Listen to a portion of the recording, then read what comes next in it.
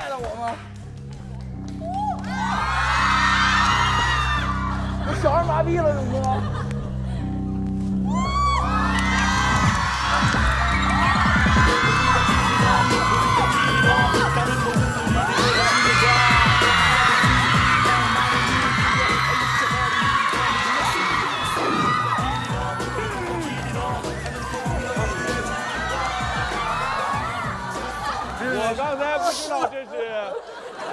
哭不哭不哭不哭不哭不哭，我刚才不知道这个欢呼声是给韩庚的，还是在嘲笑小二。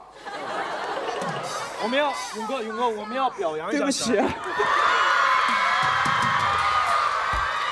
谢谢根哥。我也，勇哥，我反反正这个二啊，二小二的这个舞蹈是二的家了哈。刚才我想回家来着，要不是根哥这一拥抱，我就走了。刚才我太温暖了，我太温暖了，知道吗？导演，导演，你应该很熟悉舞蹈。对你跟韩庚来这段这动作。导演啊，所以我给大家讲一下，我呢是这个从小三岁就开始学芭蕾，但是最近呢，这个这个腿啊受伤了。刚切的，刚切的，刚切的，刚切的，刚切的。是真的，真的，真的。我膝膝关伤了节有伤，半月板受伤了。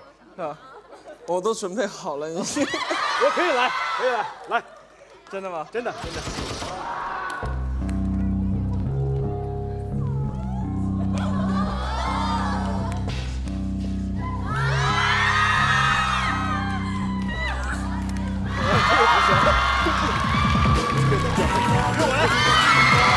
强子 来，啊，这个就不教你了，这个太太简单了，这不太太难了，这个，你教我个简单点儿的吧，简单。因为你前置好。站着就可以。站着就可以。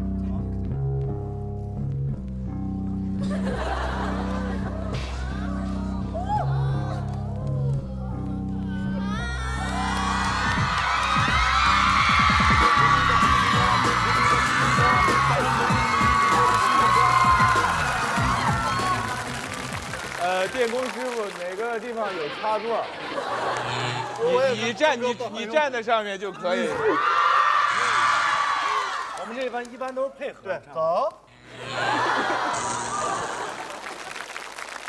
三位，照例，方向，后厨，一会儿再霍霍我们。预备，起。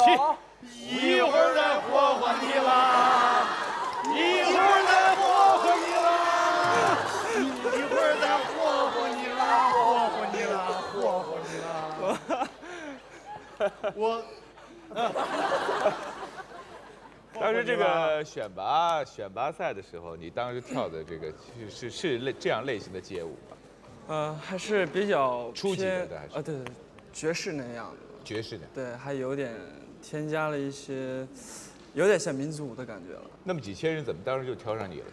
因为你会韩语啊。没有，其实当时呢，就是公司来到我们学校，啊，来到学校正好我是在毕业汇报，公司就看到我，看到我之后呢，就觉得形象还 OK 的，嗯完了身材比较好，他专门这第一个。啊对着我说，我听着嗯，完之后呢，他就说拍张照片，嗯。完就拍一个大头照片，拍了大头照片给我给他留了一个电话，我只是一个简单的这一个面试，但没有特别的去注意到这个事情，但没想到我就被选上了，就这样，然后就去韩国。就去韩国。你当时是带多少钱去韩国？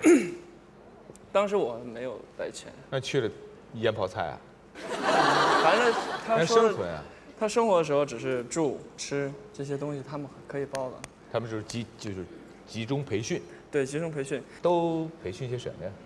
培训的时候，嗯，最基础就是舞蹈，嗯还有声乐，嗯，我还得学韩语，完了还有一个就是钢琴。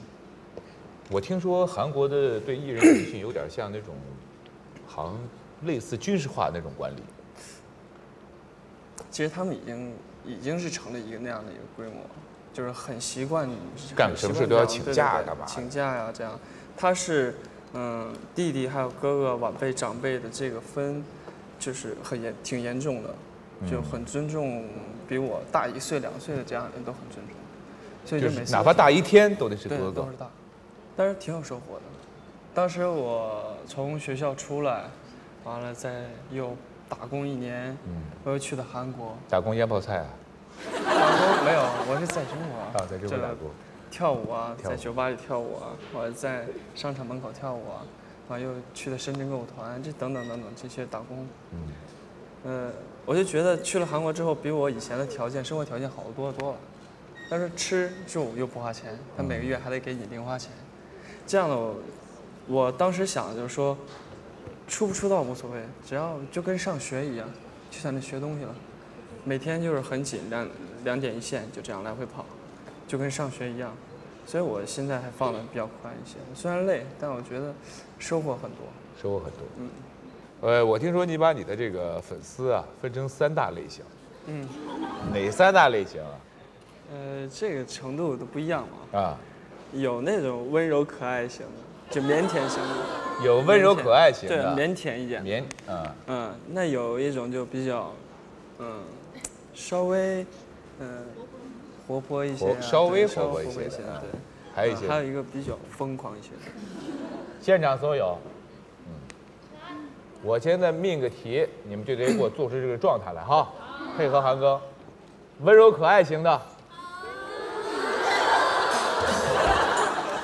呀，我大牙都掉了。稍微活泼一些型的，疯狂型的。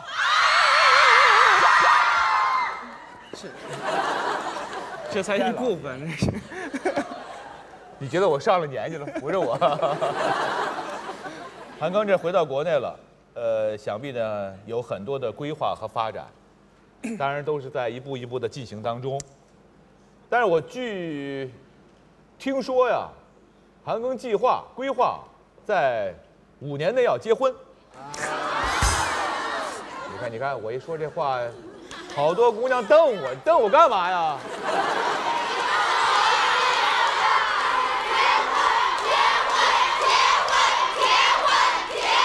有这事儿吗，韩庚？有这事儿，现在还没找到对象呢。就是计划五年，对，五年内，那时候小嘛，就是看，呃，看我的同学啊都结婚了，那有的都有孩子了，嗯，就看他们在一起生活，真的，哎，挺挺幸福的，羡慕。所以当时我就想，应该正常普通人差不多三十多岁应该结婚了。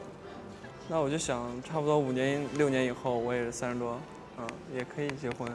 我就当然可以结婚你现在都可以结婚，你。那不能随便找一个就结啊。对，得对慢慢的去慢慢相识、去相识了解、相恋哈。我们接下来呢，继续向大家介绍韩庚。公元二零零五年，一个由十二名妙龄少男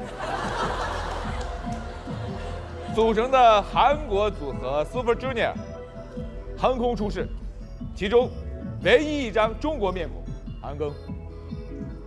公元二零零九年，Super Junior 组合因为一首歌，好像是道歉的歌，好像是啊，火爆一时啊。那首歌的名字就叫《对不起，对不起》。我一直倡导跨界这个概念。我认为一个学民族舞蹈的，跑到韩国去搞什么流行音乐，这也很跨界了啊。韩庚现在回国了。应该制作一些将民族文化跟流行文化掺合在一块儿的作品，民族的才是世界的嘛。因此，永乐会决定送给韩庚一个礼物，希望能对他回国后的发展有所启发。